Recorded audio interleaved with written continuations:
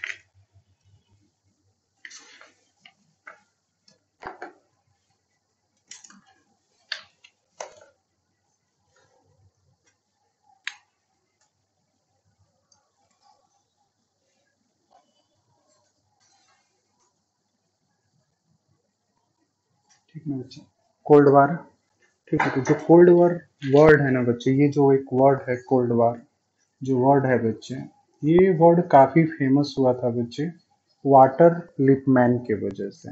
और इस वर्ड का यूज़ जो किया जाता है बच्चे, ये यूज़ कौन करता है? Bernard Baruch firstly cold war word जो यूज़ किया गया था, वो किया था बर्नार्ड बरूच ने। लेकिन ये वर्ड जो है, वो काफ़ी फ़ेमस जो हुआ था बच्चे, वो वाटर लिपमैन के वजह से हुआ था। तो अगर क्वेश्चन आता है कि cold war word firstly use किसने किया है बच्चे तो आपको बर्नार्ड बरूच ऑप्शन में टिक करना है। Famous the cold war word तो बच्चे वहाँ पे वाटर लिपमैन ऑप्शन में क्या करना पड़ेगा? टिक करना पड़ेगा।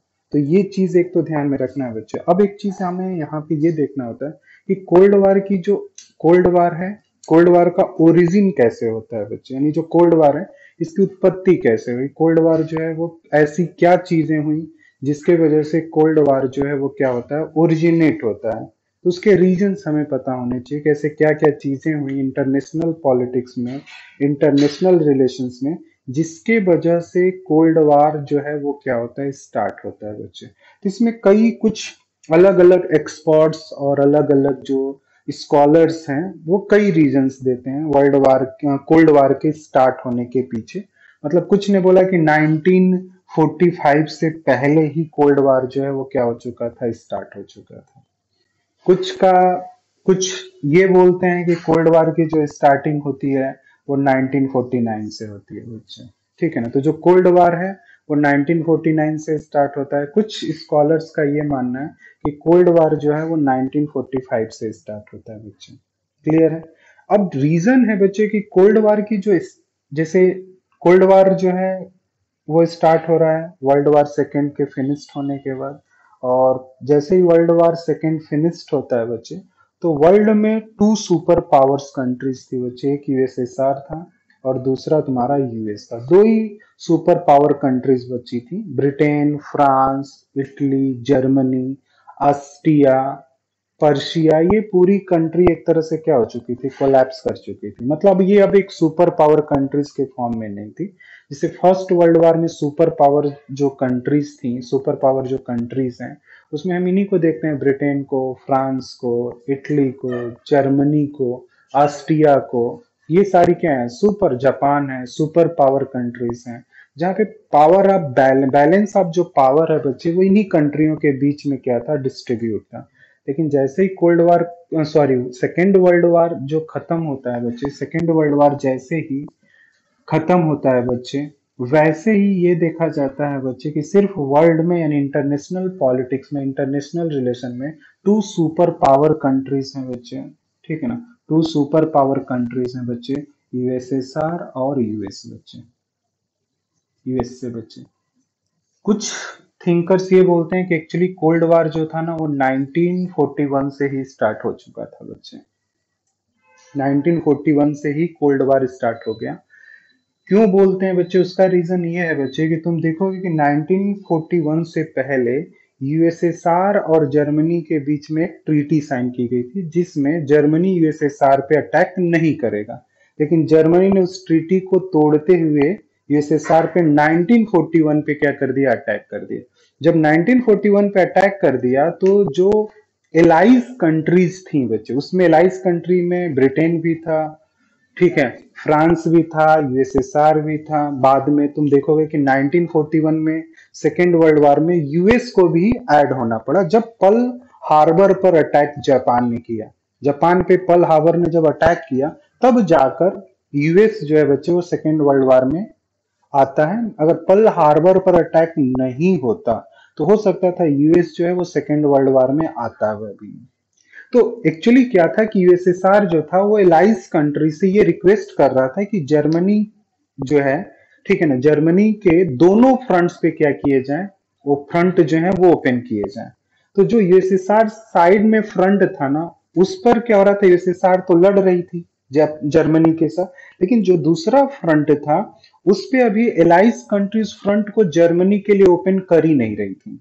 यानी जो एलाइज कंट्रीज़ थी, वो चाह रही थी कि जो जर्मनीज की एलाइज कंट्री है, पहले उनको फिनिस्ट कर लें, फिर जर्मनी के लिए हम सेकेंड फ्रंट क्या करेंगे ओपन करेंगे। यहीं पे यूएसएसआर के दिमाग में ये आना शुरू हुआ कि जो एलाइज कंट्री है, वो हमें सपोर्ट नहीं कर रही। तो एक शक जो है बच्चे, एक जो शंका होता है, जो एक शक पैदा होना शुरू होता है, ये शक ही बच्चे कहीं ना कहीं जो एक शक है, जो एक मिथ है, उसने क्या किया था? कोल्ड वार की एक तरह से क्या कर देती है, स्टार्टिंग कर देती है बच्चे। तो कुछ थिंकर्स तो ये बोलते हैं कि कोल्ड वार का जो स्टार्ट है, होने का रीजंस जो था, वो ये भी था कि अगर 1941 में जर्मनी के लिए एलाइज कंट्रीज़ दोनों फ्रंट पे अगर लड़ना शुरू कर देती तो यूएसएसआर को उतना नुकसान नहीं होता, क्योंकि यूएसएसआर को नुकसान हो रहा था। तो कहीं ना कहीं एक ये जो शंका फैलाइज कंट्रीज़ को लेकर, क्यों? क्योंकि एक्चुअली ये पहली बार ऐसा हुआ था कि दो आइडियोलॉजी एक साथ प्लेटफॉर्म पे, एक सिंगल कॉमन प्लेटफॉर्म पे आ चुकी थी बच्चे। ये सारी कंट्रियाँ जो थी वो कैपिटलिज्म थी। ब्रिटेन फ्रांस यूएस ये कैपिटलिस्ट कंट्रीज़ हैं बच्चे।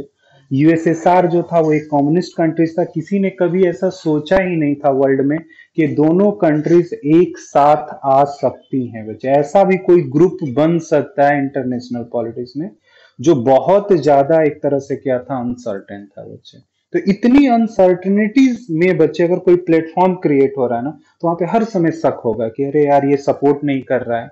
मैं किस तरीके से फाइट करूँगा, किस तरीके से। ये शक जो है बच्चे, वो कहीं ना कहीं कोल्ड वार को क्या करता है स्टार्ट करता है। दो तरह के वार होते हैं बच्चे। एक तो हम फिजिकली आमने सामने होकर लड़ रहे हैं, जिसको आप नॉर्मल वार बोलते हैं, जहाँ दोनों कंट्रीज़ की सेनाएँ आ चुकी हैं और आपस में लड़ाई कर रही है तो ये एक नॉर्मल वार है। और एक वार जो है बच्चे, वो आपके मेंटल में लड़ा जाता है बच्चे, आपके इंटेलिजेंसीज के अंदर लड़ा जाता है बच्चे। कोल्ड वार वही है। कोल्ड वार दिमाग के अंदर लड़ा जा रहा था बच्चे। क्योंकि हर कंट्रीज़ जो थी बच्चे, वो ये चाह रही थी मतलब चाहे यूएस यूएसएसआर हो और यूएस है बच्चे, हर कंट्रीज़ अपने आप को सुपर पावर के फॉर्म में प्रेजेंट करना चाहते तो जो कोल्ड वार है बच्चे, इसमें आमने सामने का वार नहीं है। दो आइडियोलॉजी हैं जिनके बीच में कन्फ्लिक्ट चल रहा है।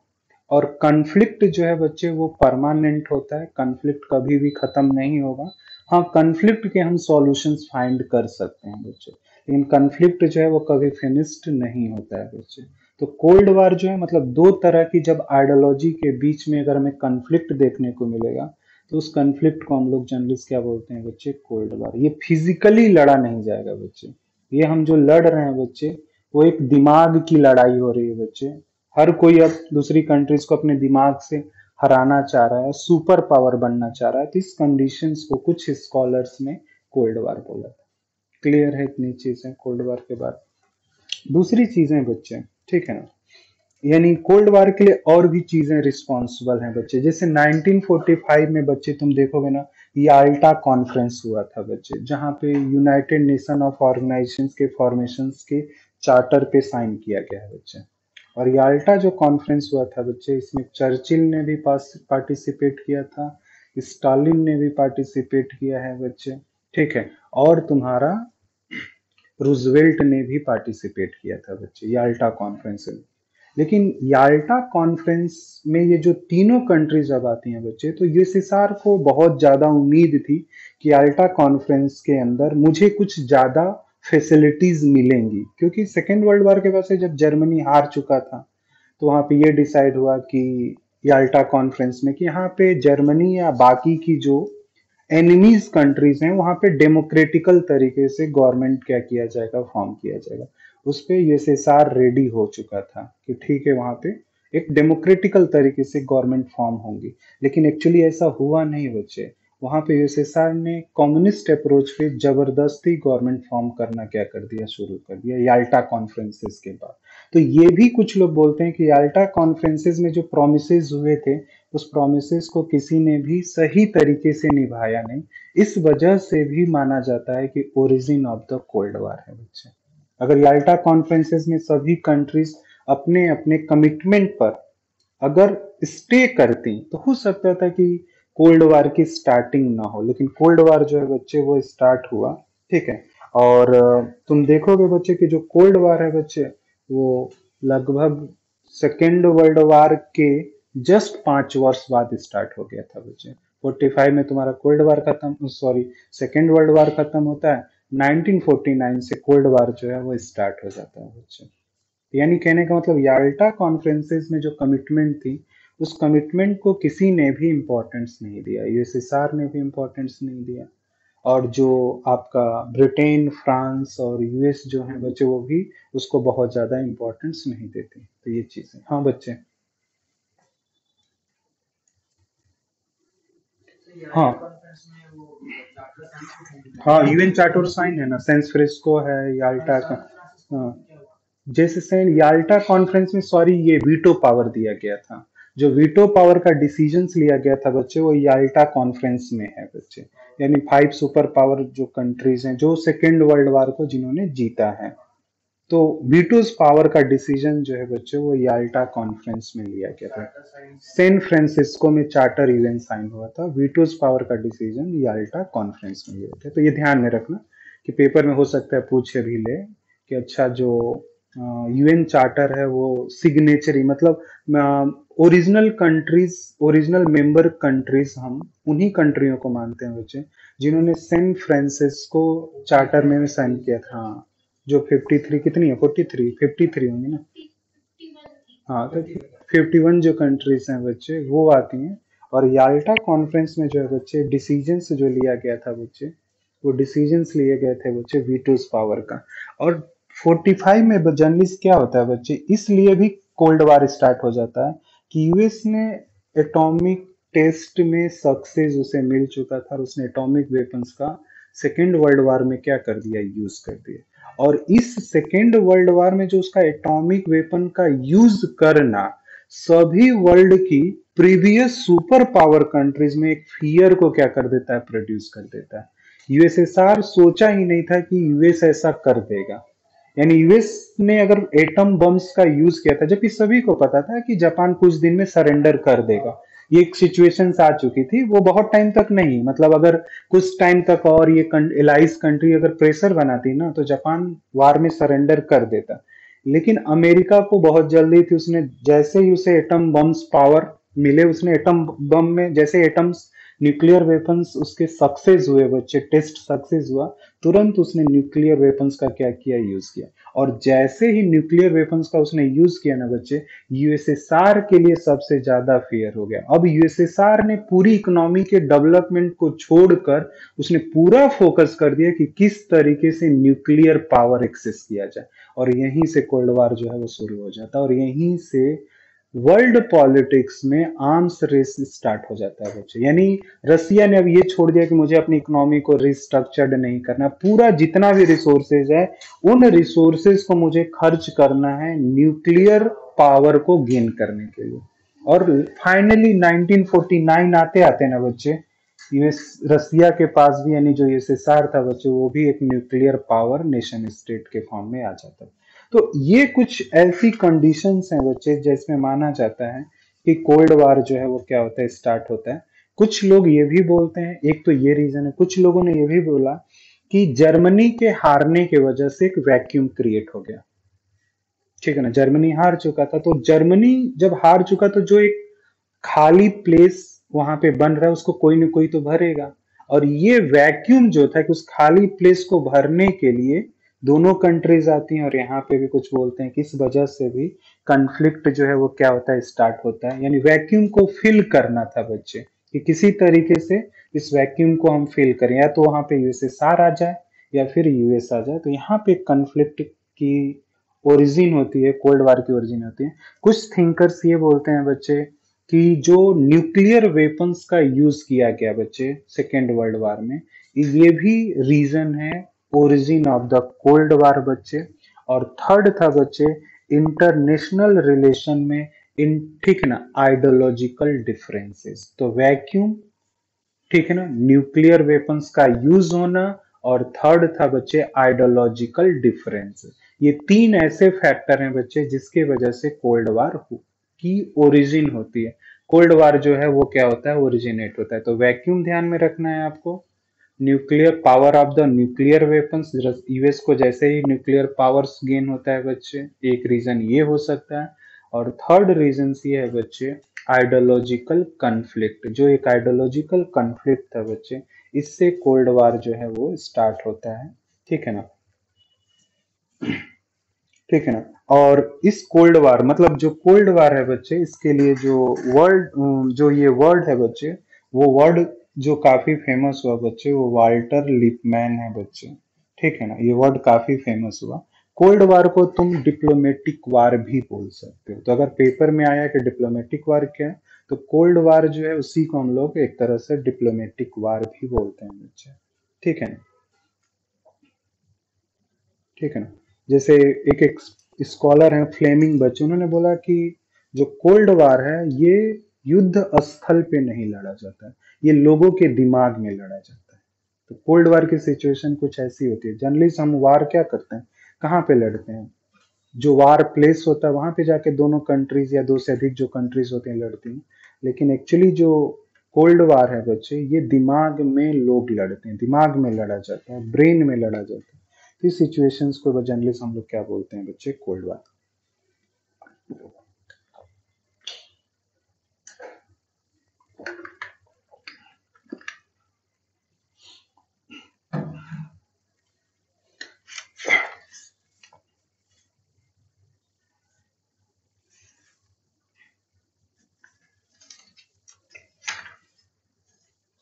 ठीक है। अगर क्वेश्चन ये आता है बच्चे, कि causes of the cold war cold war के कॉजेज क्या हैं? तो उसमें कुछ पॉइंट्स तुम लोग लिख सकते हो कॉजेज ऑफ़ कोल्ड वार में। पहला है बच्चे इन इक्विटेबिलिटीज ऑफ़ कंफ्लिक्ट बच्चे। इन इन इक्विटेबल्स ठीक है inequitables inequal inequitabilities of conflict. ठीक है फ़र्स्ट सेकेंड बच्चे. कंसेप्ट ऑफ़ वैक्यूम ठीक है ना? कंसेप्ट उसमें नोट्स में नहीं होगा, लिख लेना। नहीं है उसमें।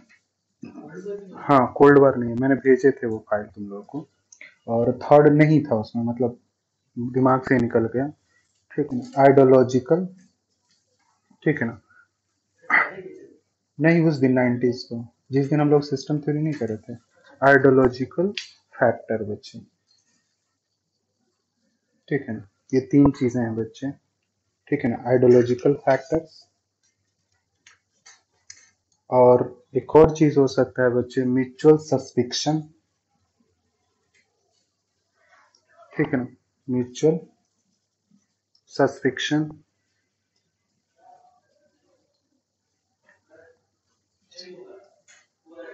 म्यूचुअल सस्पेक्शंस और फिफ्थ हुए बच्चे diversion post war objectives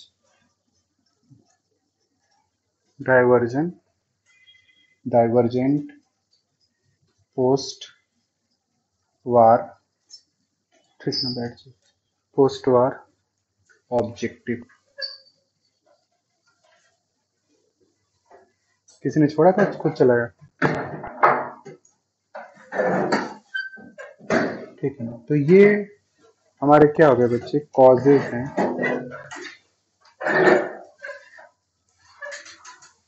ठीक है। हाँ बच्चे, मैं एक मिनट एक मिनट, में causes of the cold war बच्चे। सबसे पहला फ़र्स्ट पॉइंट जो है साक्षी, वो है inequitability of conflict inequitability of conflict second है बच्चे the concept of vacuum third है बच्चे आइडियोलॉजिकल फैक्टर्स और फोर्थ है बच्चे म्यूचुअल सस्पिक्शन ठीक है ना? म्यूचुअल म्यूचुअल है वो बच्चे, ठीक है ना? वो म्यूचुअल है.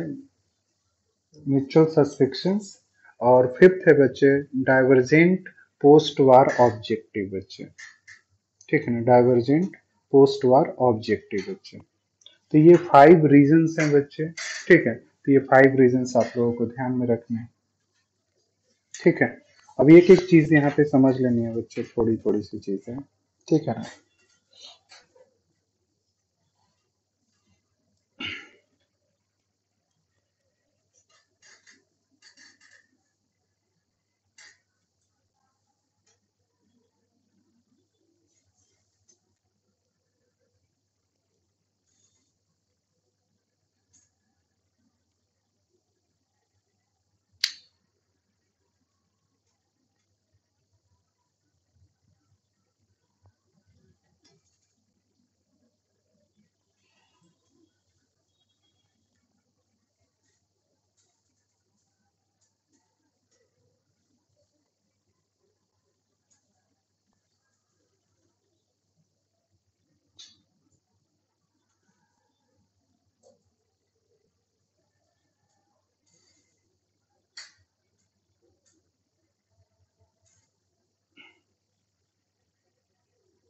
ठीक है बच्चे, देखो। जो इनइक्विटेबिलिटीज ऑफ़ कॉन्फ्लिक्ट है बच्चे, जैसे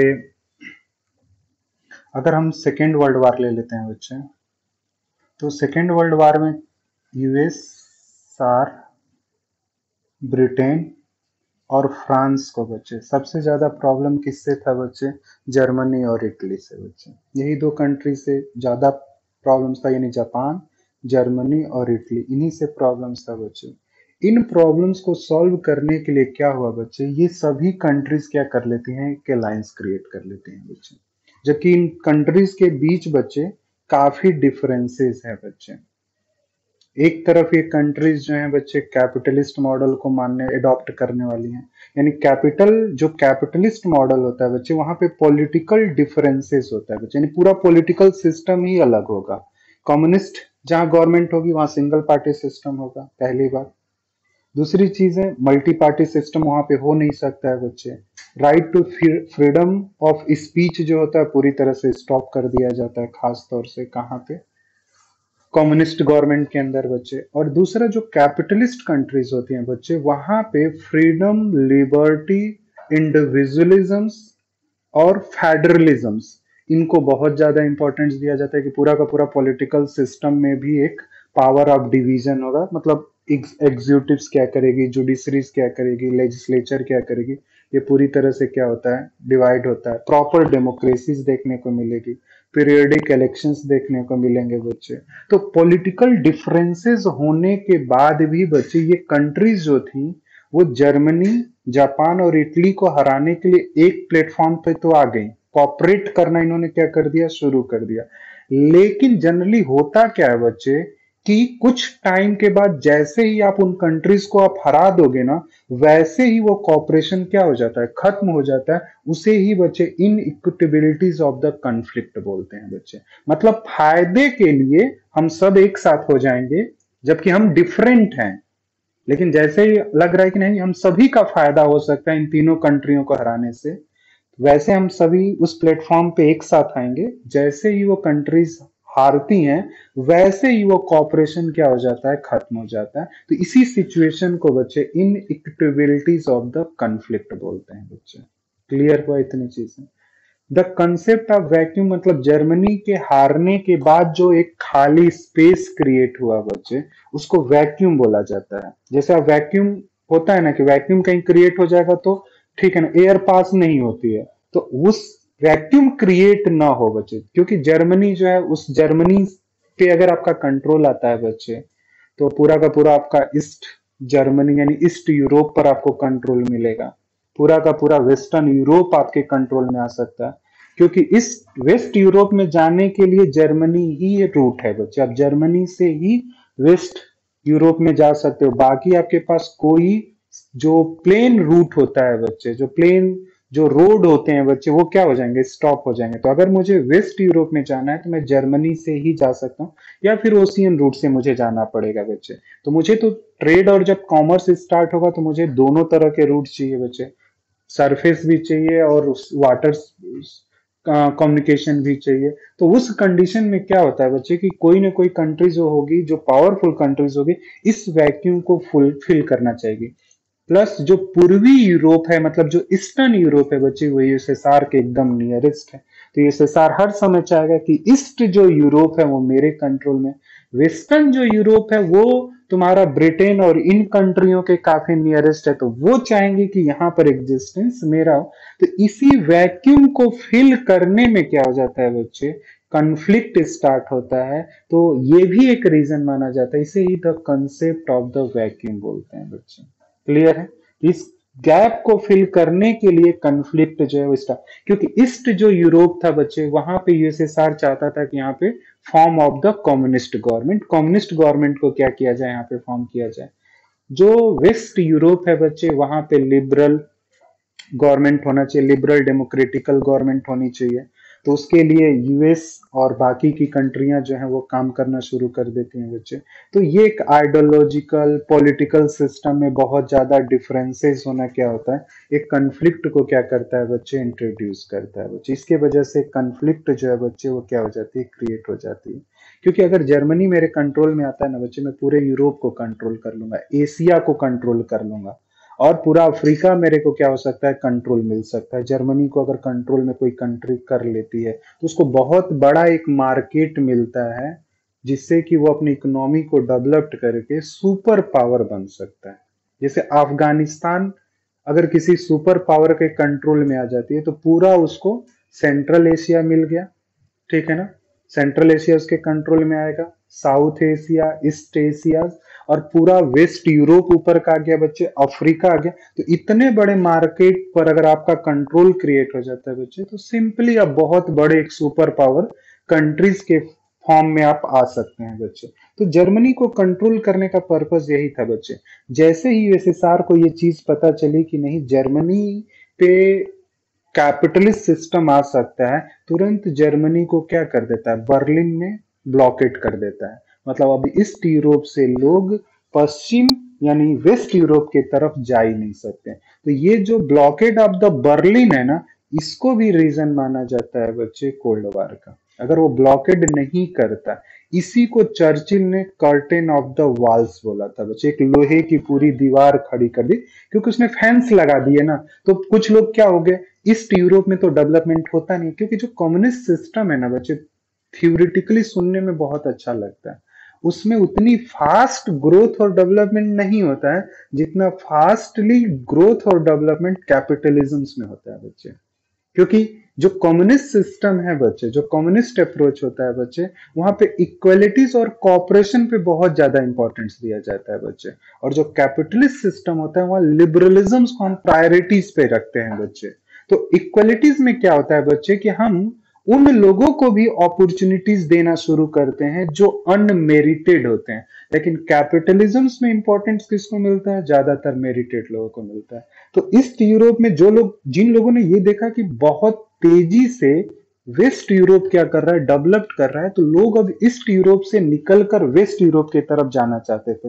तब तक तो उसने पूरा का पूरा बर्लिन में ब्लॉकेट कर ही दिया था। यानी फेंस लगा दिए गए थे। तो लोग उस फेंस से नीचे से क्या हो रहे थे? निकल रहे थे। एनसीआरटी की किताबों में दिखाया भी होगा कि कुछ लोग इमेज हैं जहाँ पे फेंस है, उसके नीचे से निकल रहे हैं। उसी को बच्चे कर्टेन ऑफ़ वॉल बोलते हैं। एक लोहे की दीवार जो है कम्युनिस्ट जो सिस्टम है, उसने क्या कर दी है? फॉर्म कर दी है। तो ये ऐसा बोलना भी चर्चिल ने ये स्टेटमेंट पास किया था। चर्चिल का ये स्टेटमेंट ये भी लोग, ये भी एक्सपर्ट बोलते हैं कि ये भी कहीं ना कहीं एक तरह से starting of the cold war है बच्चे। ठीक है? तो इसको भी बच्चे हम लोग एक देख सकते हैं। दूसरी चीज़ें बच्चे, जैसे हमने एक चीज़ उसमें लिखा था म्यूचुअल सस्पिक्शन बच्चे। एक्चुअली क्या हुआ कि दोनों कंट्रीज़ में तो काफ़ी आइडियोलॉजिकल डिफरेंसेस है बच्चे। विचारधाराएँ अलग अलग हैं बच्चे।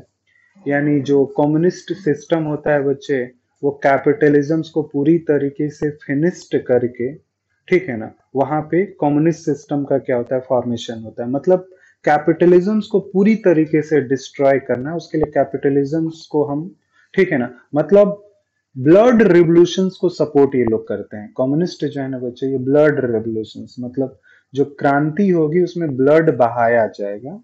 ठीक है ना? इस तरह के अप्रोच पे जो है वो काम करते हैं बच्चे कम्युनिस्ट दिक्कत क्या हुई बच्चे? जो ये आइडियोलॉजिकल फैक्टर्स मैंने लिखा बच्चे, यहाँ पे एक्चुअली क्या है कि जब लेनिन के द्वारा रसिया में रशियन रिवोल्यूशन जो 1917 में हुई बच्चे तो 1917 में जब रशियन रिवोल्यूशन हुई ना बच्चे रशिया में रिवोल्यूशन हुई, और वहाँ पे जब कम्युनिस्ट गवर्नमेंट आना शुरू हुआ बच्चे कम्युनिस्ट गवर्नमेंट के लिए जब रशियन रेवोल्यूशन हुआ तो उस समय रशियन रेवोल्यूशन को दबाने के लिए बच्चे, उसको सप्रेस्ड करने के लिए अमेरिका ने इंटरवीन किया था बच्चे। इसलिए रसिया कभी भी इन कंट्रीज़ के ऊपर उतना ट्रस्ट नहीं करता था बच्चे। उसको कहीं ना कहीं, क्योंकि जो लेनिन के द्वारा रेवोल्यूशन लाया गया था बच्चे, उस रेवोल्यूशन को, ठीक है ना, जो व्हाइट आर्मीज थी बच्चे, वो सप्रेस करने की कोशिश की थी वहाँ पे। तो ये जो एक सस्पिक्शन है बच्चे। ये सस्पिक्शन ही बच्चे क्या करता है? कोल्ड वार को ओरिजिनेट करता है। मतलब प्लेटफॉर्म पे तो हम एक साथ आ रहे हैं। जर्मनी के अगेंस्ट हम मिलकर लड़ेंगे। जापान के साथ अब मिलकर अगेंस्ट लड़ा जाएगा। इटली के अगेंस्ट हम मिलकर लड़ेंगे। लेकिन जो एक शक है ना बच्चे, वो सब दिमाग से निकल नहीं रहा है। तो हम आपके ऊपर ट्रस्ट कर ही नहीं सकते और कई सिचुएशन होगी एक तो जो ये पूरी की पूरी ब्रिटेन, फ्रांस और यूएस का जो रशियन रेवोल्यूशन को सप्रेस करने में जो इनका इन्वॉल्वमेंट था, उसने शक पैदा किया। 1941 में जर्मनी के अगेंस्ट सेकेंड फ्रंट ये ओपन नहीं कर रहे थे जल्दी। उनकी अपनी एक कंडीशन थी, इसने भी शक को पैदा किया। और उसी बीच में बच्चे यूएस ने क्या कर लिया? न्यूक्लियर पावर एक्सेस कर लिया। इसने क्या कर दिया? कोल्ड वार को स्टार्ट कर दिया। तो ये कुछ रीजंस हैं जिसकी वजह से हम बोलते हैं कि ये कोल्ड वार की क्या होती है स्टार्टिंग होती है। और म्यूचुअल सस्पेक्शन तो समझ में आ गया कि जहाँ पे सब जैसी जो चीज़ें हैं बच्चे, वो क्या हो रही हैं प्रोड्यूस हो रही हैं। तो ये चीज़ें हैं बच्चे। दूसरी चीज़ें बच्चे डाइवर्जेंस पोस्ट वार ऑब्जेक्टिव बच्चे। जब वार खत्म हो गया तो जर्मनी के साथ किया क्या जाएगा? ठीक है ना? ऑब्जेक्टिव क्या होगा बच्चे? इस पर कोई क्लियरिटीज ठीक है ना? कोई क्लियरिटी निकल के आ ही नहीं रही थी बच्चे। कि अब वार तो खत्म हो चुका है बच्चे, ठीक है?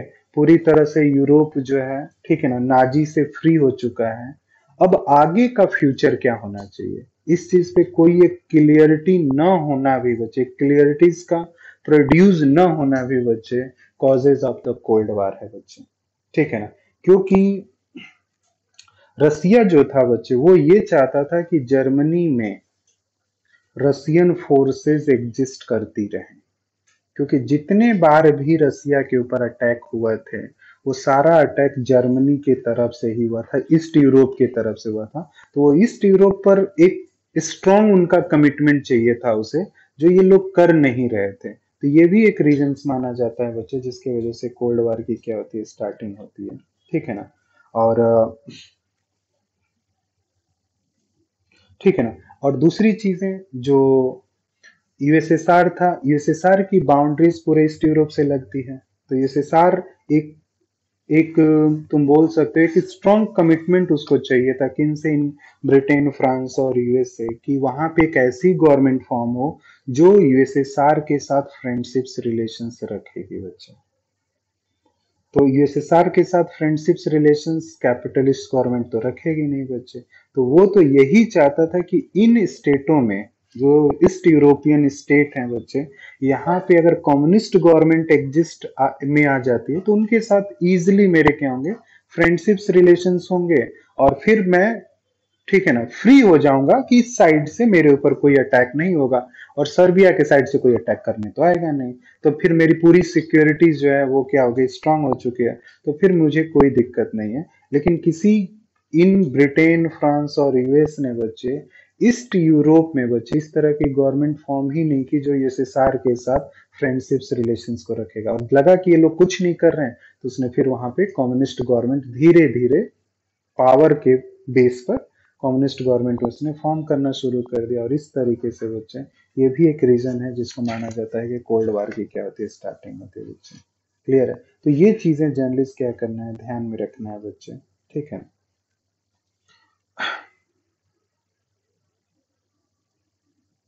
अब टेक्निकली कुछ एक्सपर्ट और स्कॉलर हैं बच्चे, वो फुलटन स्पीच को ही मानते हैं starting of the cold war तो तुम्हें जर्नलिस्ट पेपर में जब भी भी टिक करने को मिलेगा कि कोल्ड वार की स्टार्टिंग कब से होती है तो फुलटन स्पीच जो है बच्चे, वो ध्यान में रखना।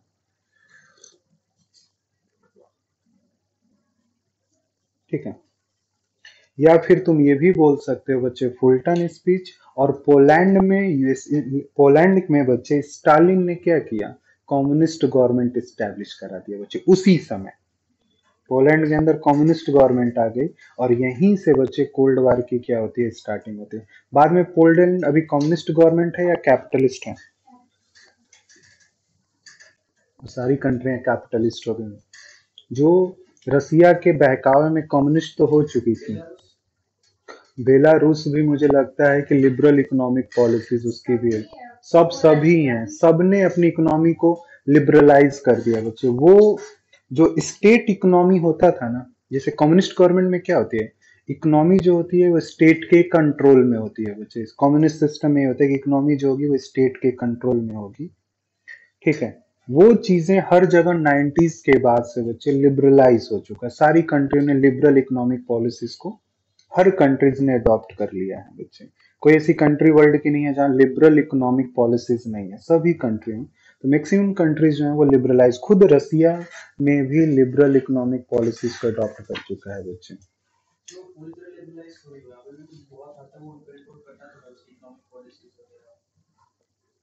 स्टेट का मार्केट फोर्सेस पर काम करती है तो पूरी इकोनॉमी अब वो ट्रेड रूबेल में करता ही नहीं है। कम्युनिस्ट कंट्रियों के साथ वो ट्रेड रूबेल में नहीं करता है।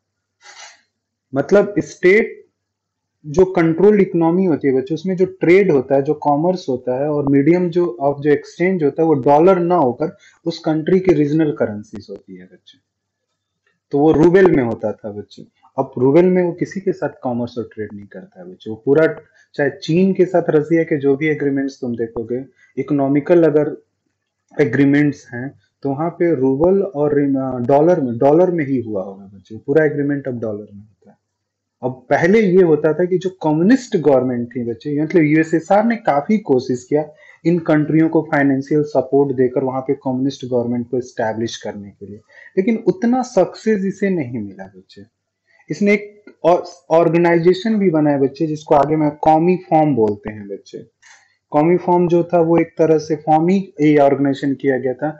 काउंटर द कैपिटलिज्म कैपिटलिज्म को काउंटर करने के लिए। और फिर जितनी भी ये कैपिटलिस्ट कंट्रीज़ थी बच्चे इन्होंने एक डिफेंस अलायंस भी तो फॉर्म किया। Phase of the first cold war बच्चे। फ़र्स्ट कोल्ड वार में डिफेंस अलायंसेस फॉर्म हुई, बच्चे। ठीक है ना? जिसमें आपका नाटो फॉर्म किया गया। 1949 का नाटो है ब्रुसेल में, बच्चे। नॉर्थ अटलांटिक ट्रीटी ऑर्गेनाइजेशन है, बच्चे। एशियन ठीक है ना? एशियंस डिफेंस मॉडल भी हैं बच्चे, तुम्हारा सीटो हो गया सेंटो हो गया बच्चे अंजुस हो गया, ये बहुत तरह के डिफेंस अलायंसेस फॉर्म किए गए थे, जिससे कि काउंटर किया जा सके कैपिटल कम्युनिज्म्स को कम्युनिज्म्स के एक्सपेंशन को बच्चे। और कैपिटलिज्म्स को काउंटर करने के लिए डिफेंस अलायंस में फिर यूएसएसआर ने वर्षया को फॉर्म किया था, लेकिन उतना सक्सेस नहीं हुआ 1989 में वर्षया जो है वो कोलैप्स होकर खत्म हो गया बच्चे। ठीक।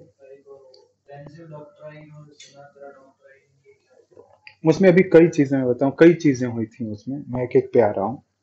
यहाँ तक चीज़ें क्लियर हैं बच्चे।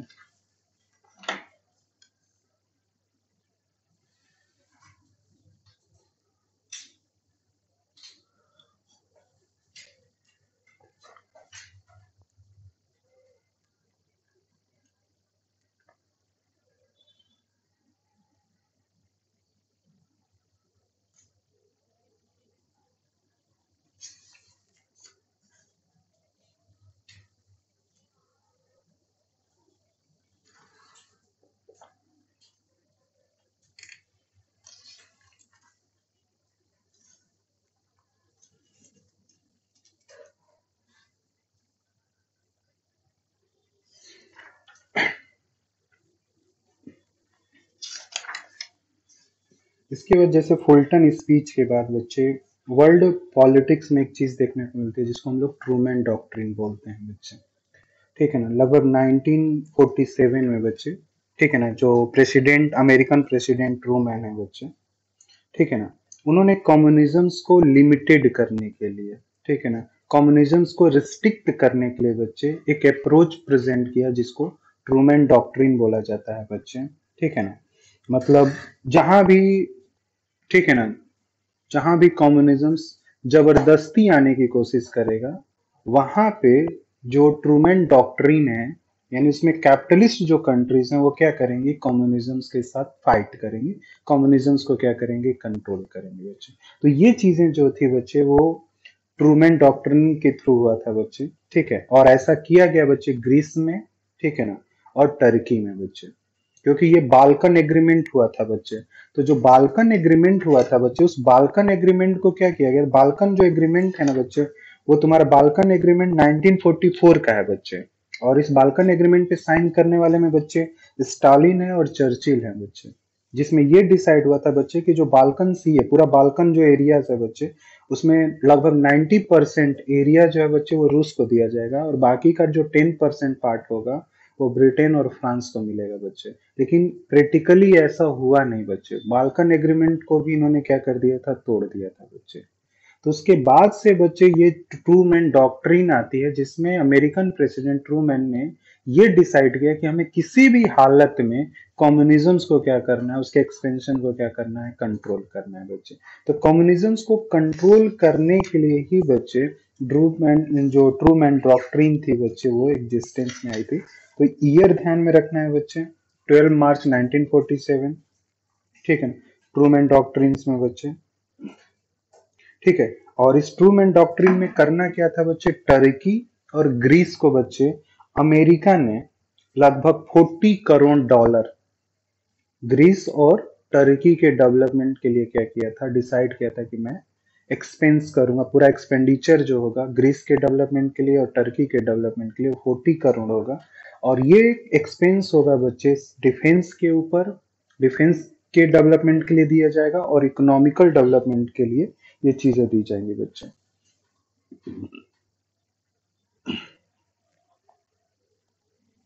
ठीक है? और साथ ही बच्चे जो ट्रू मैन डॉक्ट्रिन है बच्चे, इसमें ये भी प्रोमिस किया गया बच्चे कि जो यूरोप है, उसके पूरे फ्रीडम को मेंटेन कराने की रिस्पॉन्सिबिलिटी मेंटेन करने की जो रिस्पॉन्सिबिलिटी होगी वो किसकी होगी? यूएस की होगी।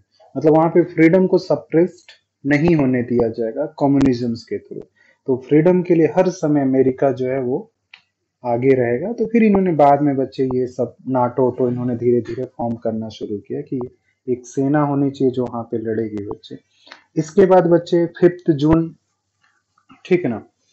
जॉन मार्शल प्लान आता है बच्चे, ठीक है ना? जो मार्शल प्लान है बच्चे, जो 1947 का है बच्चे, ठीक है ना? ठीक है, क्योंकि ट्रू मैन में ध्यान में रखना बच्चे, जो मार्शल प्लान है, इसमें पूरे वेस्ट यूरोप को रीस्ट्रक्चर्ड करना था बच्चे रिकंस्ट्रक्ट करना था, और जो ट्रू मैन डॉक्ट्रिन है बच्चे, उसमें सिर्फ़ ग्रीस और टर्की को डेवलप करना था बच्चे, उन्हें डिफेंसिव सपोर्ट्स देने थे आर्म सपोर्ट्स और इकोनॉमिकल सपोर्ट्स थे बच्चे।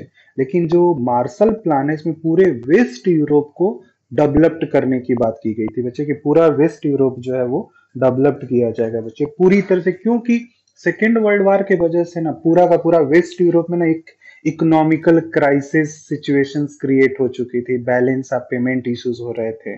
ठीक है ना? इकोनॉमिकल डेवलपमेंट एकदम ज़ीरो हो चुका था। इकोनॉमी को दोबारा से वहाँ स्टार्ट करनी थी कि इकोनॉमिक रन करना शुरू करे तो उसके लिए जो पूरा फाइनेंशियल सपोर्ट वेस्ट यूरोप को मिला था बच्चे, वो अमेरिका गवर्नमेंट ने ही बच्चे मार्शल और ये एक फॉरेन सेक्रेटरी हैं बच्चे जॉन मार्शल जो है, ये फॉरेन सेक्रेटरीज हैं। तो ये चीज़ भी ध्यान में रखना। और इसमें ये डिसाइड हुआ था कि लगभग थ्री टू फोर ईयर्स मतलब ठीक है ना मतलब 1947 से लेकर ये डिसाइड हुआ था कि 51 तक तीन चार साल तक अमेरिका जो है वो क्या करेगा सपोर्ट करता रहेगा। वेस्ट यूरोप को। और उस वेस्ट यूरोप में जो भी सिचुएशंस थी, वो काफ़ी मतलब बैड ही सिचुएशंस थी वहाँ पे। जैसे इकोनॉमिकल क्राइसिस पूरी तरह से इकोनॉमी स्टॉप हो चुकी थी। एक्सपोर्ट इंपोर्ट ज़ीरो हो चुका है बच्चे। सोशल और पॉलिटिकल क्राइसिस स्टार्ट हो चुका था बच्चे। मतलब रेसियल डिस्क्रिमिनेशन हो रहा है बच्चे। पॉलिटिकल स्टेबिलिटीज है, नहीं तो पॉलिटिकल स्टेबिलिटीज फॉर्म करना है सोशल डेवलपमेंट करना है इकोनॉमिकल डेवलपमेंट करना तो इन्हीं सभी क्राइसिस को सेव करने के लिए बच्चे मार्शल प्लान जो था वो लाया गया था बच्चे। ठीक है? और दूसरी मार्शल ने मार्शल प्लान में जॉन मार्शल ने एकदम क्लियर किया कि हमारी कोई लड़ाई किसी आइडियोलॉजी से नहीं है। हमारा पर्पस है पावर्टी से फाइट करना हंगर से फाइट करना, ठीक है ना? इनस्टेबिलिटी से फाइट करना, हम इसके लिए वेस्ट यूरोप को सपोर्ट कर रहे हैं। हमारी कोई लड़ाई किसी आइडियोलॉजी से नहीं तो कहीं ना कहीं वो भी अपने आप को डिफेंड ही कर रहे थे, ठीक है ना? क्योंकि आप अगर आप किसी को सपोर्ट करते हैं तो कहीं ना कहीं उसके, उस सपोर्ट के वजह से वो कंट्री आपको किसी भी सिचुएशन में फेवर करेगी फॉर अ फ्यूचर अभी तो ना, नहीं कर सकती है लेकिन फ्यूचर में तो आपको फेवर करेगी, क्योंकि आपने उसके ऊपर एहसान किया है। तो सिंपल सी बात है कि वो कंट्रीज़ जो है बच्चे, वो अपने सेल्फ इंडिपेंडेंट इंडिपेंडेंसी से कॉम्प्रोमाइज नहीं करेगी। तो कहीं ना कहीं आपको एक टाइम के बाद क्या करना शुरू करेगी? सपोर्ट करना शुरू करेगी। लेकिन ये कहने वाली बात है बच्चे और उस प्रोग्राम को बच्चे, जो मार्शल योजना था बच्चे, इसको यूरोपियन रिकवरीज प्रोग्राम बोलते हैं। तो पेपर में यही पूछा जाएगा कि यूरोपियन रिकवरीज प्रोग्राम जो है, वो स्टार्ट किसने किया था? तो वहाँ पे मार्शल प्लान तुम्हें ध्यान रखना है बच्चे। और लगभग 5.3 बिलियन डॉलर जो था, वो एक्सपेंस किया गया था बच्चे उस टाइम उस पूरे इकोनॉमिक ठीक है ना?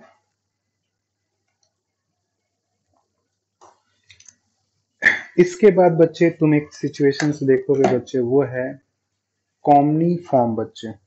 ठीक है ना? इसको मैं रफ कर रहा हूँ। अब जब भी भी क्वेश्चंस पूछेंगे बच्चे, अगर इनसे क्वेश्चंस आते हैं बच्चे तो थोड़ा सा डेट और जो ऑब्जेक्टिव है, वही ध्यान रखना है। बहुत ज़्यादा डीप में सब्जेक्टिव तो है नहीं।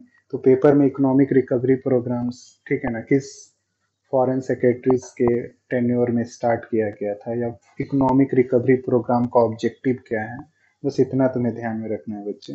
एक है कॉमनी फॉर्म बच्चे। ठीक है ना?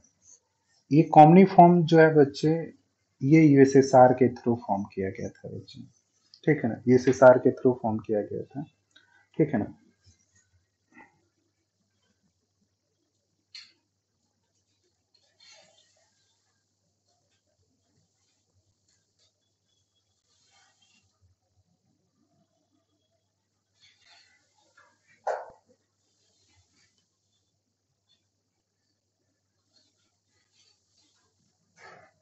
ठीक है।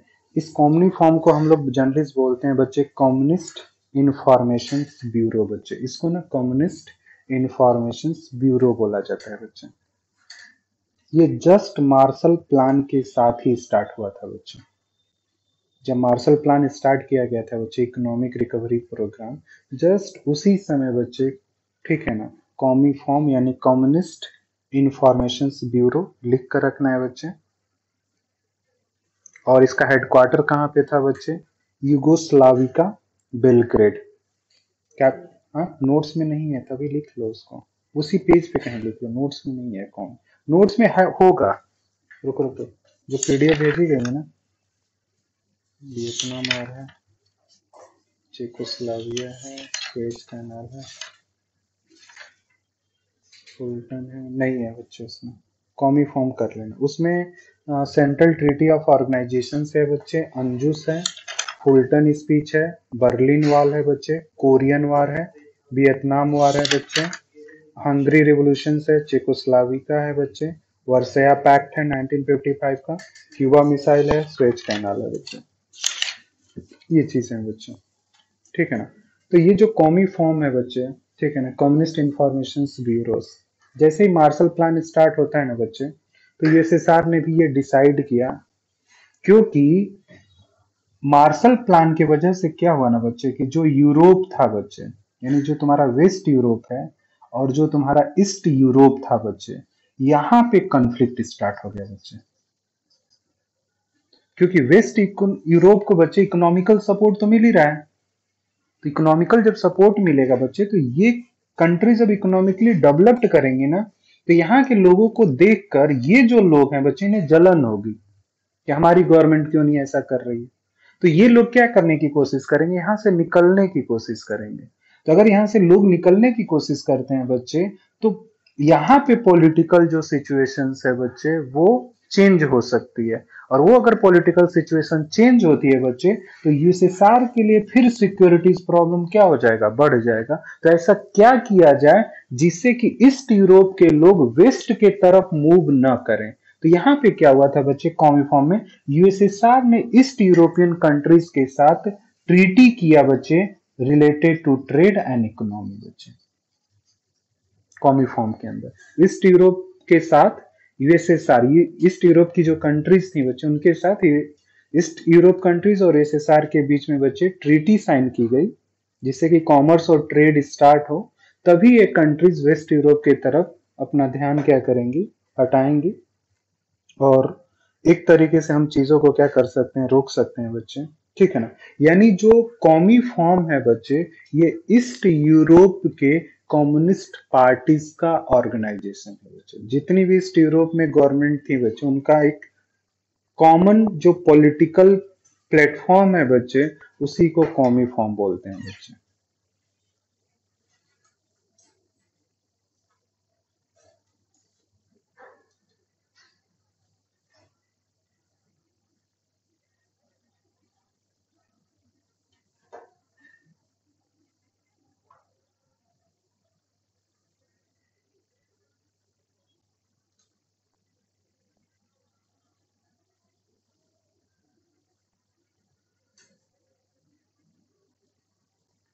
ठीक है बच्चे, ये चीज़ें क्लियर हैं यहाँ तक।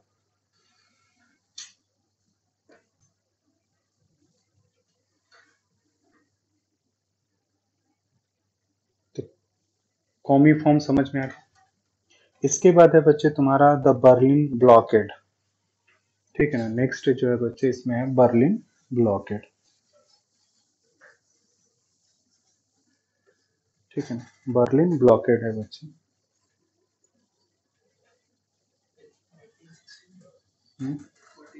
फोर्टी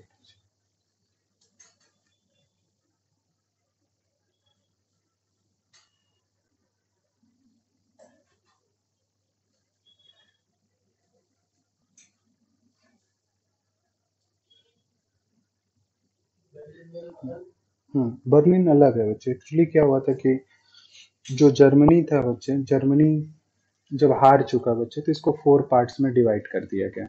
हारने के बाद से जो भी उस समय की विनर कंट्रीज़ थी बच्चे, उन्होंने इसको फोर पार्ट्स में डिवाइड किया। तो वेस्ट के तीन पार्ट्स को मिला के बच्चे जर्मनी का यूनिफिकेशन किया गया बच्चे।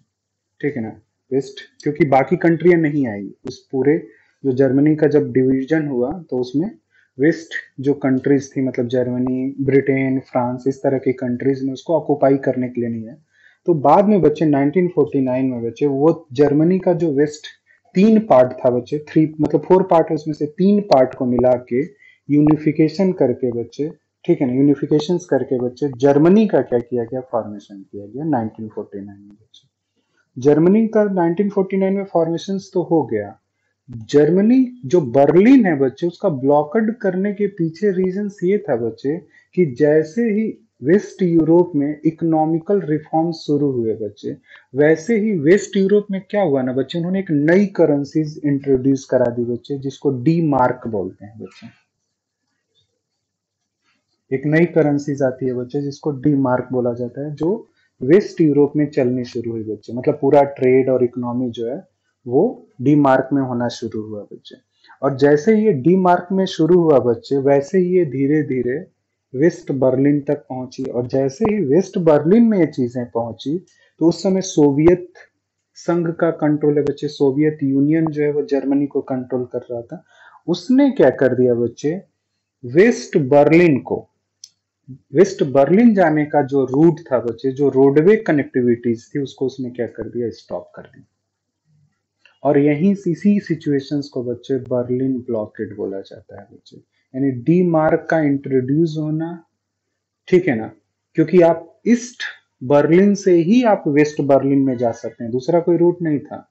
तो अब ईस्ट बर्लिन में लोग वेस्ट बर्लिन में लोग जाए ना कॉमर्स और ट्रेड के लिए तो उसके लिए आपको क्या करना पड़ेगा? रोडवे कनेक्टिविटीज को स्टॉप करना पड़ेगा। रोडवे कनेक्टिविटीज जो थी रोडवे जो कम्युनिकेशन था बच्चे, उसके ऊपर रिस्ट्रिक्शंस लगाया गया।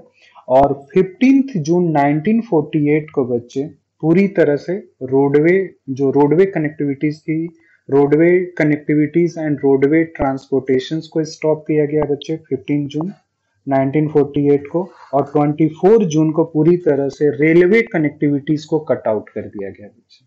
और ये जैसे ही कटता है बच्चे, इसी सिचुएशंस को लोग बच्चे बर्लिन ब्लॉकेट बोलते हैं बच्चे। यानी सोवियत यूनियन ने बच्चे, ठीक है ना, पूरी तरह से वेस्ट और ईस्ट बर्लिन को चारों तरफ़ से क्या कर लेता है? घेर लेता है। चारों तरफ़ से उसको अपने कंट्रोल में ले लेता है। सारे रोडवे कनेक्टिविटी जो थी वो स्टॉप हो चुकी थी। कोई ईस्ट से वेस्ट में नहीं जाएगा बच्चे। तो ये सिचुएशंस थोड़ी सी तुम लोगों को ध्यान में रखनी है बच्चे। क्लियर है बच्चे? तो ये एक चीज़ ध्यान में रखना है बच्चे। दूसरी चीज़ है, एक बर्लिन ब्लॉकेट समझ में आ गया बच्चे। दूसरा है बच्चे Yugoslavia become a non aligned बच्चे। जो ईगोस्लाविका था ना बच्चे, इसी के कंट्री में हेडक्वार्टर है, इसी का बेलग्रेड हेडक्वार्टर है। और ये पहले एक कम्युनिस्ट कंट्रीज़ था कॉमी फॉर्म का मेंबर था। जैसे ही नैम का फॉर्मेशन होता है ना बच्चे, ये अपने आप को कॉमी फॉर्म से निकाल के नैम का क्या हो जाता है पार्ट बन जाता है। तो इसलिए भी एक मैसेज ये जाएगा बच्चे कि जो कौमी फॉर्म है बच्चे, कम्युनिस्ट इंफॉर्मेशन जो ब्यूरो है, इनमें खुद में यूनिटी नहीं है। यहाँ से खुद ही मेंबर्स जो हैं वो धीरे धीरे करके क्या हो रहे हैं, निकल रहे हैं। ठीक है तो ईगोस्लाविका जो था बच्चे, ठीक है ना, क्योंकि इस जो ईगोस्लाविका था बच्चे ईगोस्लाविका जो है वो इसलिए स्टालिन से नाराज़ था कि स्टालिन के द्वारा जो रसिया में लैंड रिफॉर्मेंस लॉ लाया गया था ना, उसका बहुत लोगों ने क्रिटिसाइज किया था। वो सबकी जमीनें उसने छीन ली, जानवर छीन लिए, सब कुछ छीन लिए थे। तो उसका काफ़ी क्रिटिसिज्म हुआ, क्योंकि इंडस्ट्रियलाइजेशन के लिए उसने सभी की जमीनें ले ली। इसीलिए तुम देखोगे बच्चे, कि माओ जो है, वो भी स्टालिन को काफ़ी क्रिटिसाइज करता है बच्चे लेनिन को। क्या कहता है कि इन्होंने जो मार्क्स के आइडियाज़ थे, उसको प्योरली इंप्लीमेंट नहीं किया है। मार्क्स हाँ लेनिन ने किया था सॉरी लेनिन ने ये चीज़ें मतलब जो लैंड रिफॉर्मेंस शुरू हुए थे बच्चे ठीक है ना? लैंड रिफॉर्मेंस तो स्टालिन के समय में भी हुए थे लैंड रिफॉर्मेंस जो है ना वो लेनिन स्टालिन के समय में हुए थे बच्चे जो लैंड रिफॉर्म्स शुरू हुए थे आ, रसिया में या जो कम्युनिस्ट कंट्रीज़ थी बच्चे उनमें वो लेनिन के समय स्टालिन के समय होते हैं बच्चे और सिर्फ़ लैंड रिफॉर्म्स को लेकर स्टालिन और टीटो में बच्चे जो यूगोस्लाविका का हेड है बच्चे टीटो, उनमें कई चीज़ों को लेकर कंफ्लिक्ट थी। मेन उसमें से जो था बच्चे, वो लैंड रिफॉर्म्स था बच्चे। ठीक है ना? लैंड रिफॉर्म्स था। और स्टालिन के समय बच्चे, यहाँ पे तुम अगर देखोगे बच्चे, चीन में कौन आ रहा है? माओ आ रहा है। माओ जेडांग आ रहा है बच्चे। तो एक्चुअली जो माओ है, वो खुद अपने आप को बोलता है कि मैं मार्क्सिस्ट लेनिनवाद हूँ बच्चे। मतलब मैंने मार्क्सवाद को बेहतर तरीके से इम्प्लीमेंट किया है, जो स्टालिन है उसने प्रॉपर तरीके से मार्क्सिज्म को इम्प्लीमेंट नहीं, इसने तो किसानों की जमीनें छीन ली है, इसने किसानों के राइट्स को सप्रेस्ड किया है, बहुत सारी चीज़ें जो है वो मार्क्स के थ्रू बोली जाती है बच्चे। तो ये चीज़ भी थोड़ी सी ध्यान में रखनी है बच्चे, ठीक है? और दूसरी चीज़ें बच्चे, टीटो ने सीधा मना कर दिया कि यूएसएसआर जो कहेगा मैं उसको मानूँगा नहीं, ठीक है ना? तो यूएसएसआर और जो यूगोस्लाविका था बच्चे, वहाँ पे एक तरह से चीज़ें जो है बच्चे, वो क्रिएट होनी शुरू हो जाती हैं बच्चे। क्योंकि जो यूगोस्लाविका था बच्चे, वो ये चाह रहा था कि मुझे इंटरनल अफेयर्स और मेरी जो फॉरेन पॉलिसीज़ है, उसमें हमें एक इंडिपेंडेंसी चाहिए, उसमें यूएसएसआर का इन्वॉल्वमेंट नहीं होना चाहिए।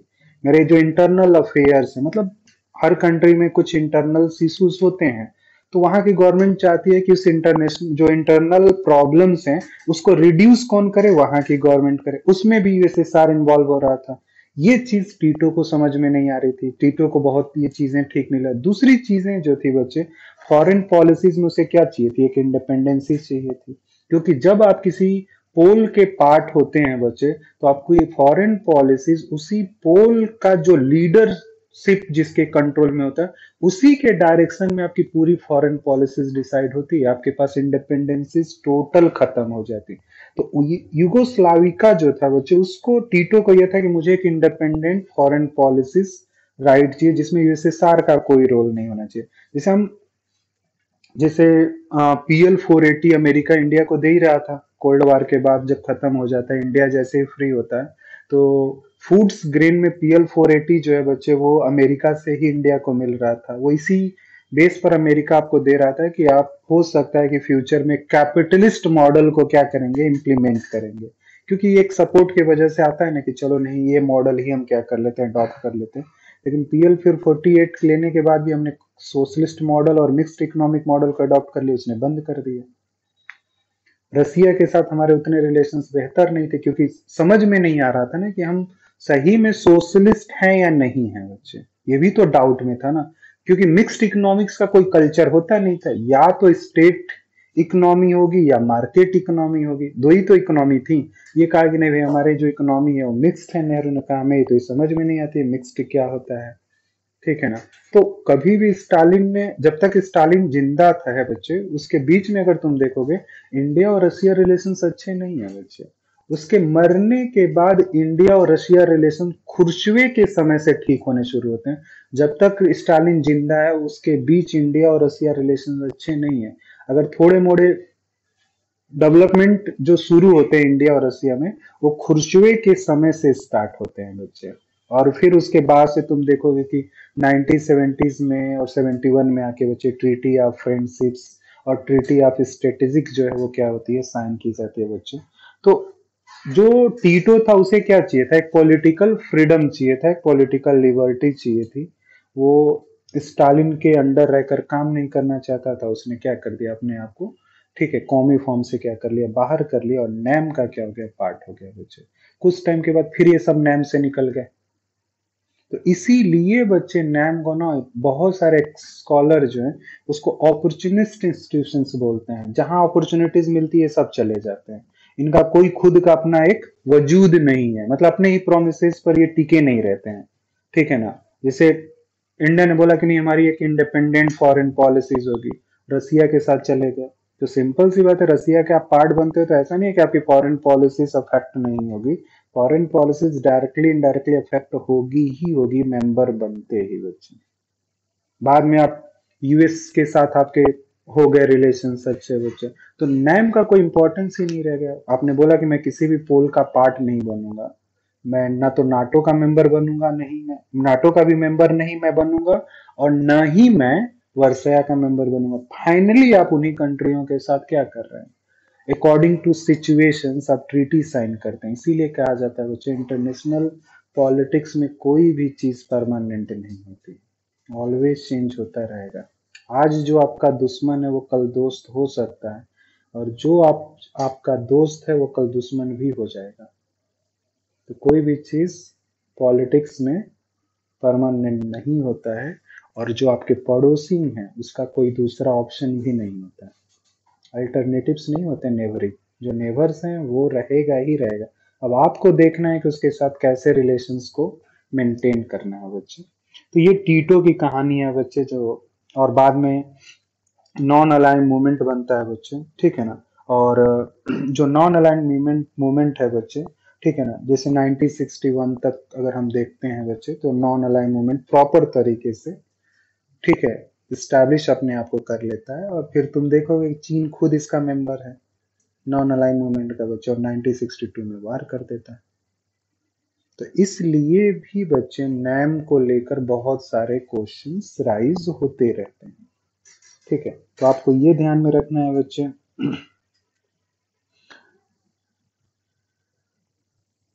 ठीक है? जो कौमी फॉर्म थी बच्चे, वो ट्वेंटी फिफ्थ अक्टूबर 1947 को फॉर्म की गई थी स्टैब्लिश किया गया था बच्चे।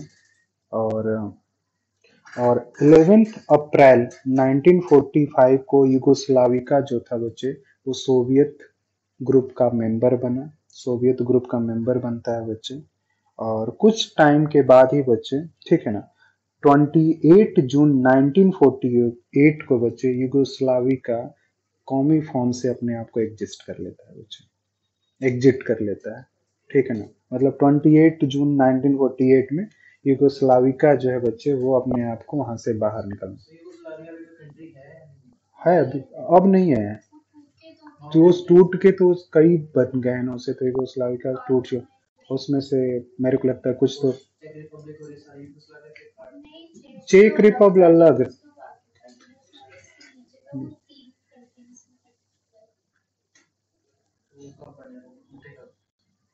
ये सारे टूटे होंगे बच्चे, ये बीच में ही मतलब। ये यूएसएसआर के हाँ मतलब तुम स्वेज कैनाल और मतलब नैम मतलब ये सेवेंटीज के आसपास ये सब कोलैप्स हुए हैं बच्चे। 1989 के आने के बाद यूएसएसआर से बहुत सारी कंट्रीज़ बाहर निकल कर बच्चे, उन्होंने सीआईएस का फॉर्मेशन किया। कॉमनवेल्थ इंडिपेंडेंट स्टेट हैं बच्चे, वो सारे के सारे जो यूएसएसआर के मेंबर्स थे बच्चे।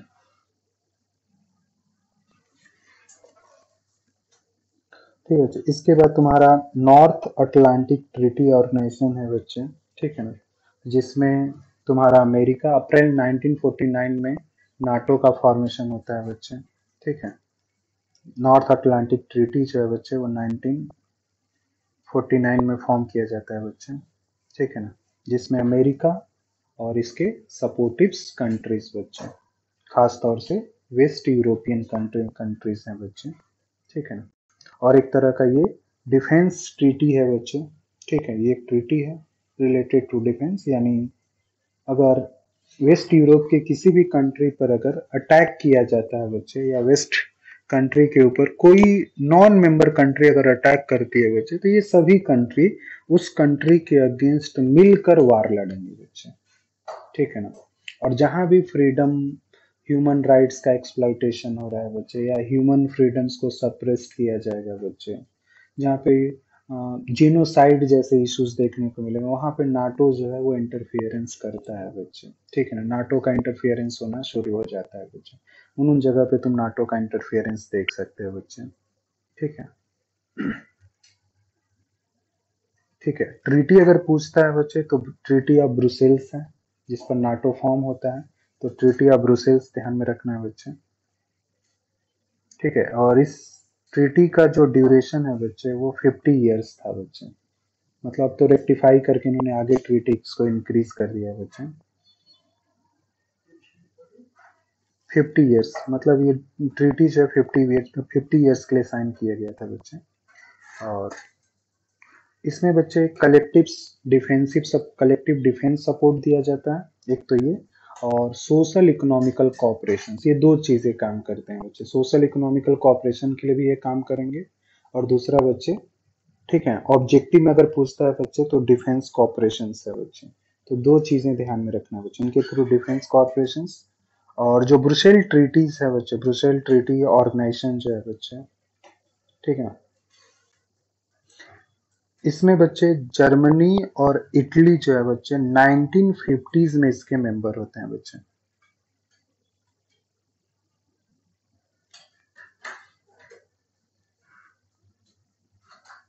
ठीक है? और जो नाटो है बच्चे एक्चुअली ये नाटो एग्रीमेंट जो है बच्चे, ये 1949 का है।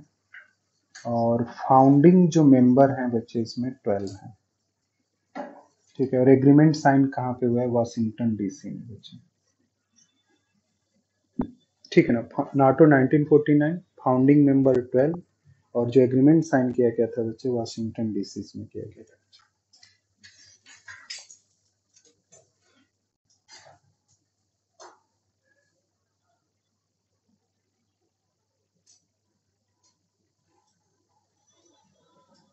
ठीक है और इसमें मतलब पूरे यूरोप की सिक्योरिटीज की रिस्पॉन्सिबिलिटीज नाटो के ऊपर है बच्चे। और नाटो में सबसे बड़ा जो कंट्रीब्यूटर है बच्चे, वो यूएस डोनाल्ड ट्रंप इसी चीज़ का विरोध भी कर रहा था, ठीक है। क्योंकि यूएस सबसे ज़्यादा कंट्रीब्यूट करता है इसके अंदर। सबसे ज़्यादा कंट्रीब्यूशन जो है बच्चे यूएस का है। बाकी कंट्रियों के कंपेरिजन में बच्चे, ठीक है। और एक चीज़ और ध्यान में रखना है बच्चे 1952 में बच्चे 1952 में बच्चे, नाटो का पार्ट टर्की भी हो गया था बच्चे और ग्रीस भी बच्चे। तो ये टर्की और ग्रीस जो है बच्चे, वो पार्ट हैं किसके? नाटो के बच्चे। तो 1952 में बच्चे टर्की और 1955 में 1952 में ग्रीस और टर्की आते हैं बच्चे, और 1955 में बच्चे वेस्ट जर्मनी जो है बच्चे, इसका पार्ट बन जाता है। एक्चुअली यही जर्मनी है अभी वेस्ट जर्मनी बच्चे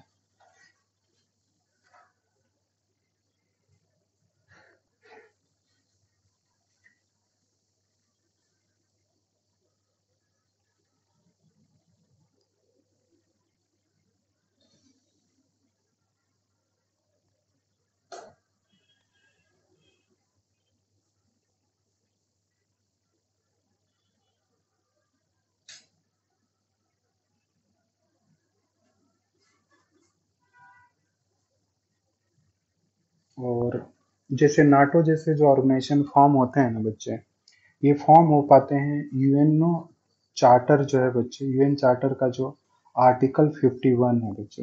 आर्टिकल 51 की वजह से रीजनल ऑर्गेनाइजेशन के फॉर्मेशन हो सकते हैं बच्चे।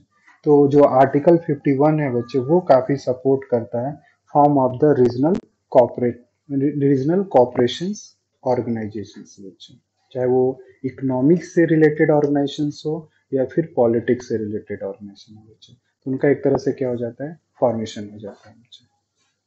क्लियर है इतनी चीज़ें?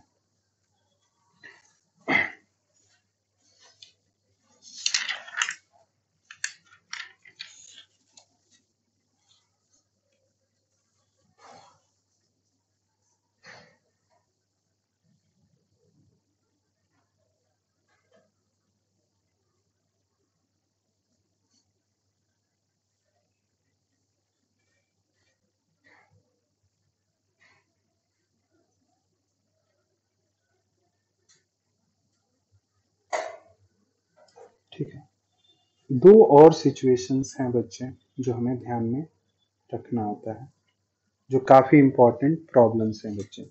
एक तो चाइनीज़ रिवोल्यूशंस और दूसरा है कोरियन वार बच्चे। इस दो प्रॉब्लम्स ने क्या किया बच्चे? पूरा का पूरा ईस्ट और वेस्ट यूरोप के रिलेशंस में ना काफ़ी बड़ा चेंजेस लाया बच्चे। यानी कोल्ड वार की स्टार्टिंग कहाँ हुई बच्चे? यूरोप में हुई। और चीन जो चाइनीज़ रेवोल्यूशन था बच्चे, और जो कोरियन वार था ना बच्चे, उस कोल्ड वार को एशिया में लाकर शिफ्ट कर दिया बच्चे। ठीक है ना? क्योंकि तुम देखोगे बच्चे कि 1949 से लेकर 1949 से ले लेते हैं बच्चे, और 1950s में दो सबसे बड़े प्रॉब्लम्स हुए बच्चे 50s में बच्चे 1949 से लेकर 1950s में बच्चे। ठीक है? ड्यूरिंग द कोल्ड वार बच्चे। अभी तक अमेरिका ने अपने आप को लिमिटेड करके कहाँ तक रखा था? यूरोप तक। और जनरली इसके बाद से क्या हो जाता है बच्चे? और इस पीरियड में बच्चे, अभी तक तो कोल्ड वार में सिर्फ़ अमेरिका और यूएसएसआर इन्वॉल्व है बच्चे। ये जो टाइम है ना बच्चे, इसमें क्या हो जाता है? यूएनओ को भी इन्वॉल्व होना पड़ जाता है बच्चे। कोरियन वार में यूएनओ को इंटरफेयर करना पड़ जाता है बच्चे। ठीक है ना? जिसके लिए जनरल असेंबलीज में पीस रेजोल्यूशन पुट करना पड़ा था बच्चे। कि कोरियन वार को क्या किया जाए, स्टॉप किया जाए और ठीक है ना? और दोनों का एक तरह से पार्टीशन किया जाए बच्चे। 1949 में क्या हुआ बच्चे कि चीन में ना सिविल वार चल रहा था। और सिविल वार जो चल रहा था बच्चे, ठीक है ना? जो सिविल वार चल रहा है बच्चे 1949 में चीन में सिविल वार शुरू हो चुका था बच्चे। 1949 में सिविल वार है बच्चे। और उसमें जनरली जो सिविल वार शुरू हुआ था बच्चे, उसमें काई सेक और माओ जेडांग के बीच चल रहा था बच्चे और फाइनली 1940 के नाइन के सिविल वार में माओ जेडांग क्या हो जाता है? जीत जाता है और काई सेक को बच्चे चाइना मेन लैंड को छोड़कर बच्चे ताइवान क्या होना पड़ता है? शिफ्ट होना पड़ता है बच्चे। ठीक है ना? और अमेरिका का काफ़ी सपोर्ट था बच्चे काई सेक को। लेकिन उस सपोर्ट के बाद भी काई से जीत नहीं पाया था बच्चे, माओ जेडांग से बच्चे। ठीक है? और उसे मेन लैंड से भाग के बच्चे, ठीक है ना? कहाँ पहुँचना पड़ा? ताइवान और ताइवान में तुम जाओगे बच्चे तो वहाँ पे एक आइलैंड है फामोसा आइलैंड है। फामोसा आइलैंड को ही ताइवान बोलते हैं, ठीक है? अब तो चाइना तो बोलता है कि मेरा मेन लैंड का मेरा पार्ट है ताइवान। वो अपने ही चिल्लाते रहते हैं कि हम इंडिपेंडेंट हैं। हांगकांग को भी वो अपना ही पार्ट मानता है। ठीक है, क्योंकि आप उसे लड़ नहीं सकते। चाइना बहुत पावरफुल एक कंट्री है तो आप छोटे मोटे कंट्रीज़ हो दो तीन थप्पड़ मार के आपको कंट्रोल में कर लेगा वो। हांगकांग को पीट पाट के अपने कंट्रोल में कर लिया और कोई कंट्री बचाने आएगी नहीं। ठीक है ना? तो वो चीज़ें थी बच्चे। और जर्नलिस्ट जो था बच्चे, कि रीजन क्या था? काइसेक के हारने का चीन में। जो सिविल वार हुआ, बच्चे, उस काई सेक के हारने का मेन रीजन था कि उसके ड्यूरिंग जब वो हेड था चाइना का, बच्चे, चीन का हेड था, उस समय करप्शन काफ़ी बढ़ गया, बच्चे।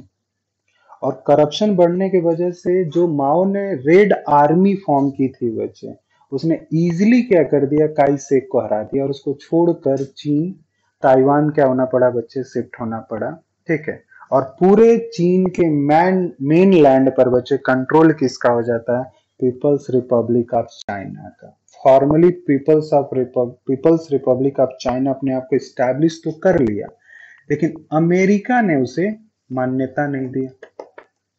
सबसे पहली जो कंट्री थी बच्चे जिसने चीन को एक नेशन स्टेट के तौर पे अप्रूव्ड किया, वो इंडिया थी बच्चे जो एक नॉन कम्युनिस्ट कंट्रीज़ थी बच्चे इंडिया एक नॉन कम्युनिस्ट कंट्रीज़ है, जिसने चीन को एक तरह से क्या कर रहा है एक कंट्रीज़ का स्टेटस दे रहा है बच्चे कि आप एक कंट्रीज़ हैं, ठीक है ना?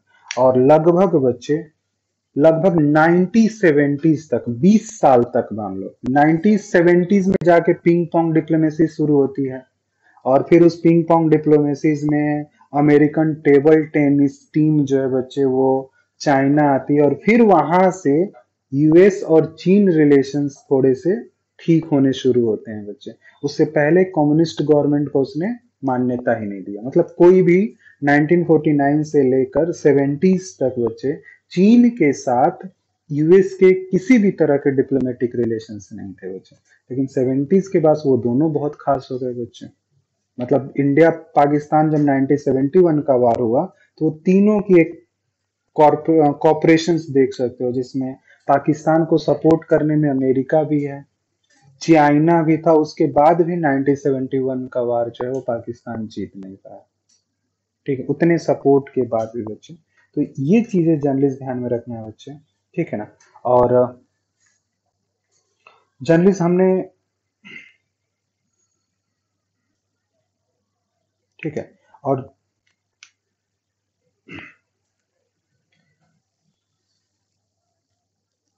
ठीक है और पीपल्स रिपब्लिक ऑफ़ चाइना को बच्चे, जो पीपल्स रिपब्लिक चाइना है बच्चे, जो पीपल्स रिपब्लिक चाइना है ना नाइनटी सेवेंटीज तक बच्चे सेवेंटी वन तक मानकर चलो बच्चे, कि पीपल्स रिपब्लिक ऑफ़ चाइना को जनरल असेंबलीज का मेंबर ही नहीं होने दिया इंडिया उसको। इंडिया मतलब चीन पीपल्स रिपब्लिक चाइना को यूएस ने बच्चे यूएस जो था यूनाइटेड स्टेट ऑफ़ अमेरिका ने बच्चे जनरल असेंबलीज का मेंबर ही नहीं होने दिया बच्चे। ठीक है ना? ताइवान के पास ही मेंबरशिप थी बच्चे और ताइवान के पास ही वीटो पावर था। सिक्योरिटी काउंसिल के परमानेंट मेंबर में वीटोज पावर जो थी बच्चे, वो ताइवान के पास थी। जब 1970s में जब अमेरिका और यूएस रिलेशंस बेहतर हुए बच्चे तो फिर अब, क्योंकि अपने वीटो का ही यूज़ करके जनरल असेंबलीज का मेंबर चीन को बनने नहीं दिया। और जब रिलेशन अच्छे हो गए बच्चे तो अपना वीटोज वापस ले लिया। चीन जो है जनरल असेंबलीज का मेंबर बन गया और उधर परमानेंट का मेंबर में ताइवान को हटा के पीपल्स रिपब्लिक ऑफ़ चाइना को क्या किया गया था? जगह दिया गया था तो ये चीज़ भी थोड़ी सी तुम लोगों को ध्यान में रखनी है बच्चे। ठीक है?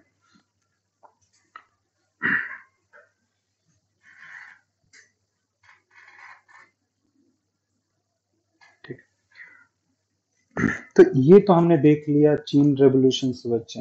अब हमें एक देखना है बच्चे कोरियन रेवोल्यूशन तो अगर कोरियन रेवोल्यूशन को देखोगे ना बच्चे तो 1910 तक बच्चे 1910 तक बच्चे। जापान के कंट्रोल में कोरिया था बच्चे, ठीक है ना? जापान के कंट्रोल में कोरिया है बच्चे। मतलब उसी का एक तरह से कॉलोनीज था, जापान का ही कॉलोनीज है बच्चे, ठीक है ना? और 1945 में जैसे ही बच्चे जापान कोल्ड वार हारता, जापान जो है सेकेंड वर्ल्ड वार हारता है बच्चे। तुरंत कोरिया में क्या हो जाता है बच्चे? पॉलिटिकल इनस्टेबिलिटीज क्या हो जाती है? क्रिएट हो जाती है बच्चे। जापान के हारते ही सेकेंड वर्ल्ड वार में, वैसे ही कोरिया में जर्नलिस्ट क्या होता है बच्चे? पॉलिटिकल इनस्टेबिलिटीज जो है वो क्रिएट होती है। और 38 डिग्री पैरलर पे नॉर्थ और साउथ कोरिया को क्या कर दिया जाता है? डिवाइड कर। तो क्वेश्चंस पेपर में यही पूछा जाता है पेपर में बच्चे कि जो कोरिया है, इसको कितने डिग्री पैरलर पे हम क्या करते हैं डिवाइड करते हैं बच्चे? तो तो 38 डिग्री पैरलर पे जो है बच्चे नॉर्थ और साउथ कोरिया के बीच में डिवीज़न किया जाता है, ठीक है ना? और, जो ये डिवीज़न होता है बच्चे, यानी जो नॉर्थ कोरिया है बच्चे, ठीक है ना? आज भी नॉर्थ कोरिया है बच्चे। Support the USSR North Korea को सपोर्ट कौन कर रहा है बच्चे? यूएसएसआर कर रहा था उस टाइम में।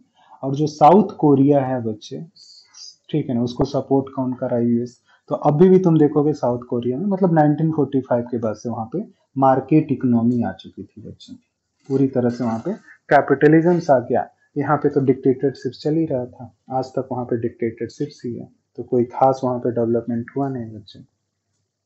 ठीक है ना?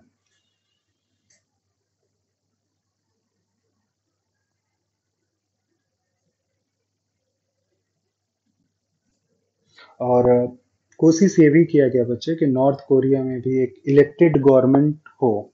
उसके लिए यूएन ने काफ़ी कोशिश भी की थी और यूएन ने अपने लेवल पे इलेक्शन कमीशन भेजे गए थे नॉर्थ कोरिया में, लेकिन उसको लोगों ने एक्सेप्ट ही नहीं किया। तो वहाँ पे इलेक्शन ही नहीं हो पाया बच्चे। तो इस तरह से वहाँ पे डिक्टेटरशिप ही वो चलती रहती है। ठीक है? और फ़र्स्ट मई 1948 को बच्चे, नॉर्थ कोरिया में कम्युनिस्ट गवर्नमेंट इस्टेब्लिश हुई थी बच्चे, फ़र्स्ट मई 1948 को। तो फ़र्स्ट मई 1948 को बच्चे, नॉर्थ कोरिया में जो है वो कम्युनिस्ट गवर्नमेंट जो है वो इस्टेब्लिश हो चुकी है बच्चे। और जिसे हम लोग जर्नलिस्ट, ठीक है ना, People's Democratic Republic of Korea बोलते हैं बच्चे, ठीक है ना। और 1949 में बच्चे, अक्टूबर 1949 में चीन में कम्युनिस्ट गवर्नमेंट जो है वो क्या हो जाती है? स्टैब्लिश हो जाती है बच्चों तो लगभग इसी के आसपास यहाँ पे दोनों जगह पे गवर्नमेंट जो है बच्चे वो क्या होते हैं? स्टैब्लिश होते हैं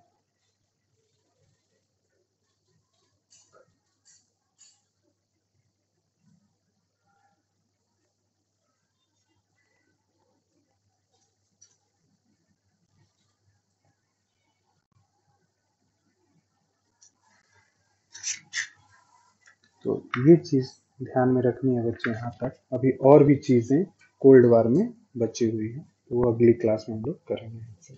ठीक है कोई दिक्कत, कुछ पूछना होता बताओ। दृष्टा, समझ में आया बच्चे? ठीक है।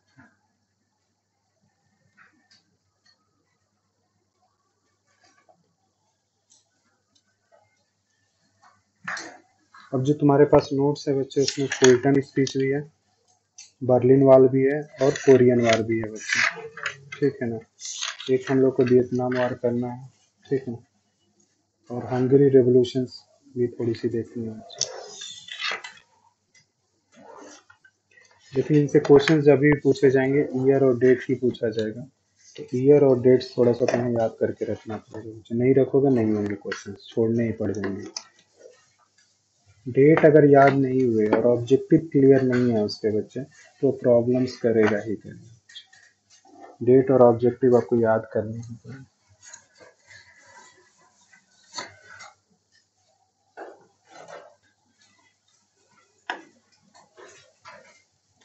ठीक है।